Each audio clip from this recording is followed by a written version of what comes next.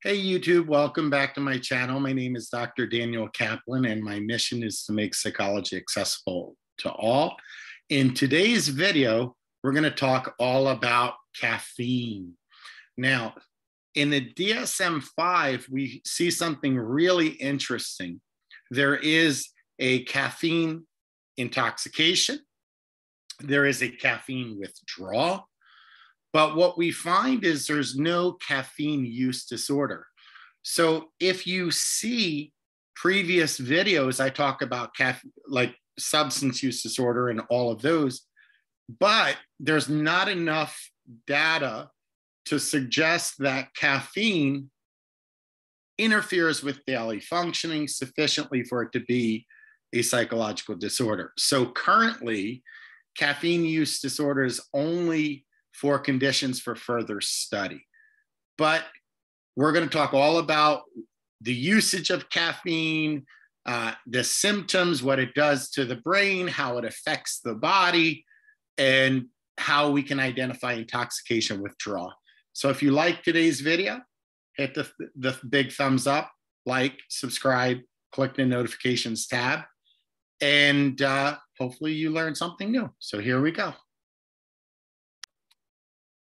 So, if we were to talk about drugs, caffeine is by far the most widely used drug on the market worldwide.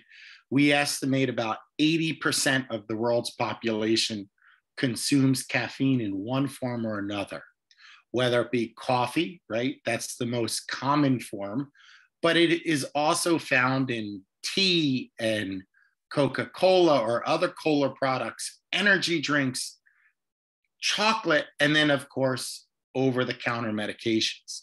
Now, what we see is, as well is that 99% of the ingested caffeine absorbs uh, and reaches its peak within an hour. So, if you're looking for how long to before you go to work to drink your coffee, give yourself an hour and it will be very widely in the system. Now, caffeine acts as a stimulant, hence the title of the slide.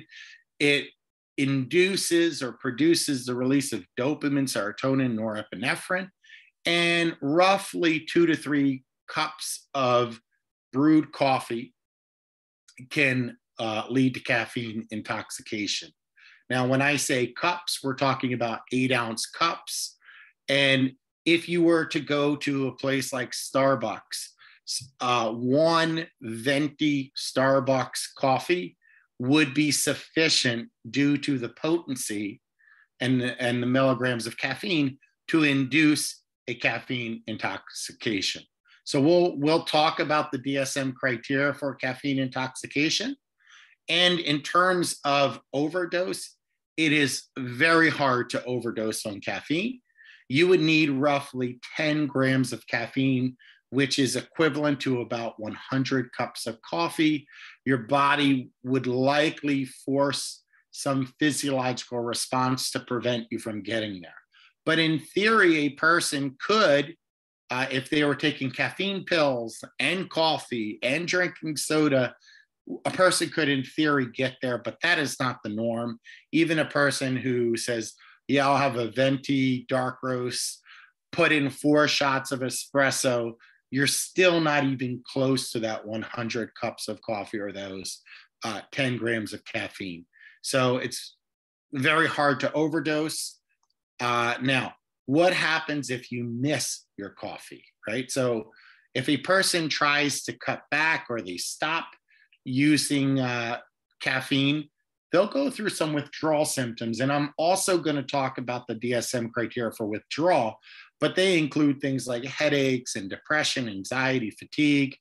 Uh, now, caffeine is fairly safe in terms of overdose, but it does not mean that it cannot impact other aspects of who you are, right? It is a stimulant. And because it's a stimulant, it can create heart irregularities, greater risk for high cholesterol, greater risk for heart attacks, and prenatally, it can be a risk for a miscarriage. So it's not entirely safe. It does have its risks as well. So, as I said in the introduction to the video, the DSM 5 diagnosis of caffeine use disorder is not yet there.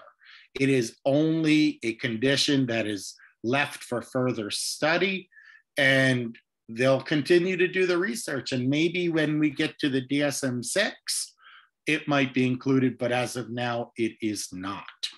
So, the two conditions that are there are intoxication and withdrawal. So let's go through caffeine intoxication. So a person to be considered intoxicated has to have uh, at least 250 milligrams of caffeine.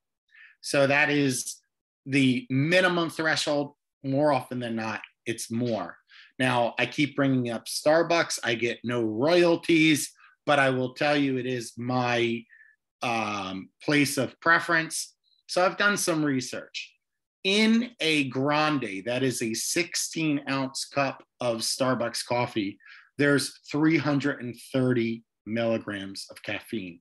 So when we said two to three cups of coffee will get you to intoxication, it's clear that in the case of Starbucks, it definitely does.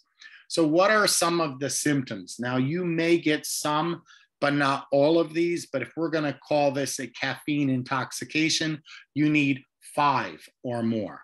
You need to develop restlessness, nervousness, excitement, insomnia, a flush sense, diuresis, uh, gastrointestinal disturbance, muscle twitch, rambling or increased rate of uh, speech. If you drink too much, uh, tachycardia, right? So the heart beating or racing, or an arrhythmia, feelings of inexhaustibility, not feeling tired whatsoever, and agitation.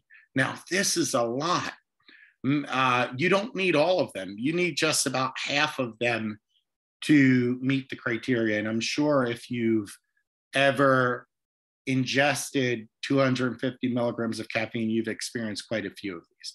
Now, the criterion B, they have to cause some level of distress or impairment in social, occupational, or another aspect of one's life.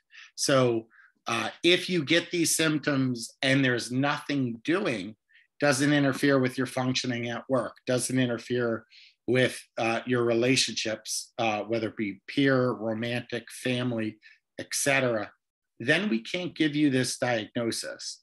And this is probably the hardest part of the caffeine use disorder diagnosis and why it hasn't been added yet is because people argue that caffeine doesn't interfere or impair functioning. It's actually a performance in, enhancing drug. So it increases alertness, increases focus, increases productivity in general. So it's harder to get to a point where it's a use disorder. That being said, uh, the research is still coming in. We'll see what happens. And then obviously, the symptoms in B cannot be better explained by some other medical condition or some psychological condition. So that's intoxication. Now let's talk about caffeine withdrawal. So, in order to get the diagnosis of caffeine withdrawal, a person has to have a prolonged daily use of caffeine and then and then stop abruptly they stop or they try and cut down significantly and then they get three or more of the following features usually within a day headache drowsiness depressed mood or irritability flu like symptoms inability to concentrate and so forth and because uh, all disorders have to have some level of distress and dysfunction. There has to be some distress and an interference with uh, performance. So that's criterion C, and they cannot be better explained by some other medical or psychological condition. So I know I went through that fairly quickly. That is uh, what we view caffeine in the DSM 5 uh, I like talking about caffeine because it's counterintuitive. When you think about drugs, you don't necessarily think about caffeine. It's legal, over the counter. You don't have to, you know, fight to get it. But yet it does cause intoxication and it does cause withdrawal features. So that's important for people to know. In addition, the fact that it doesn't have a use disorder is what one of the things that make it unique relative to other substances of abuse. So I hope you liked this video. I hope you found it meaningful.